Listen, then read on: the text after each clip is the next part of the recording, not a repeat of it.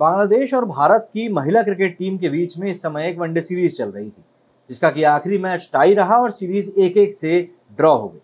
लेकिन ये सीरीज़ सिर्फ़ इसीलिए याद नहीं रखी दिया जाएगी कि बांग्लादेश ने सीरीज़ ड्रॉ करा ली, बल्कि बांग्लादेश में जो भारतीय टीम के साथ हरकतें हुई उसके लिए। मसलन की प्रेजेंटेशन के दौरान प्रेजेंटर को हरमनप्रीत कौर का नाम ही याद नहीं था। इसके अलावा जिस तरीके से हरमनप्रीत कौर को एलबीडब्ल्यू आउट जल्दबाजी में दिया गया कि हरमनप्रीत ने नाराज़गी में आकर स्टंप पर ही बल्ला मार दिया। या फिर प्रेजेंटेशन के दौरान हरमनप्रीत ने साफ़ तौर पर कहा कि हम जब अगली बार बांग्लादेश आएँगे ना तो एक एक चीज़ की तैयारी कर कर आएँगे, सिर्फ़ क्रिकेट की नहीं।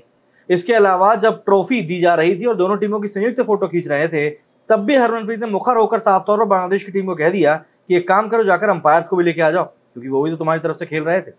हालाँकि इस सभी का जुर्माना हरमनप्रीत को ज़रूर लगेगा डीमेरिट पॉइंट्स भी उनको मिल गए हैं, लेकिन बांग्लादेश की टीम का जो व्यवहार था ना, ये साफ़ तौर पर कुछ और ही इशारा कर रहा था।